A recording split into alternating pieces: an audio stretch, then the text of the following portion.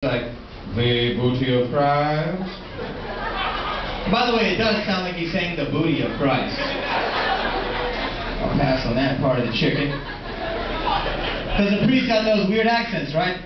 They mumble, you can't hear what they're saying, they just say anything. They're like, And Jesus one of the mountain and our to give us everlasting life.